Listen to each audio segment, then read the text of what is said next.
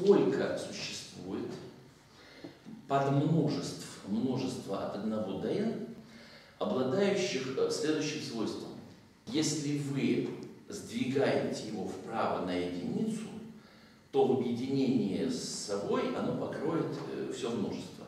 То есть рассматриваем все подмножества, множество первых натуральных чисел, такие, что для любого натурального числа э, или k принадлежит э, или k минус 1 принадлежит. Вот. вот требуется узнать, сколько требуется узнать, сколько таких множеств.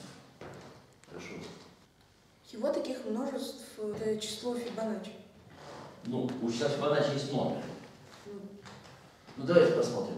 Для n равного единице какой будет ответ? Один, Один.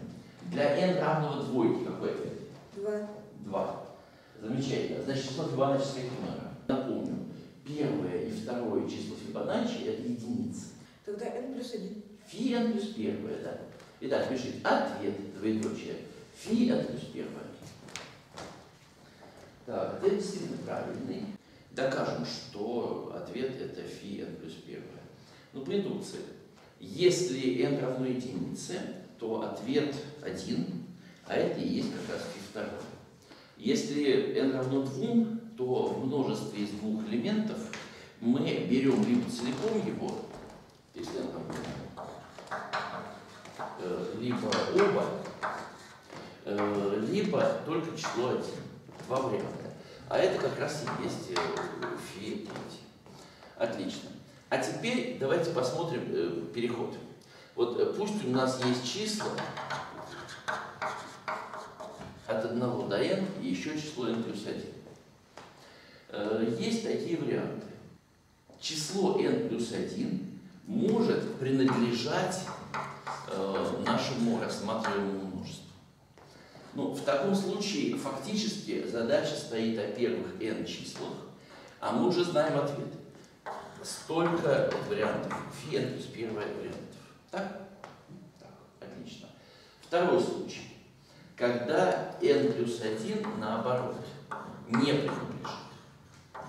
Но в таком случае обязательно n должно принадлежать, потому что иначе при сдвиге на единицу n плюс 1 не покроешь. И значит, на самом деле нас интересует множество чисел от 1 до n единиц. Потому что n принадлежит, значит, сдвигом э, на единицу, соответственно, n плюс 1 покрывается. И нужно еще взять, э, решить задачу про n минус 1, сколько же там будет. А мы знаем, сколько там вариантов. Их фи n для n минус 1 чисел фи n. А сумма этих чисел, это как раз и есть фи n плюс 2. То есть по индукции все просто абсолютно очевидно.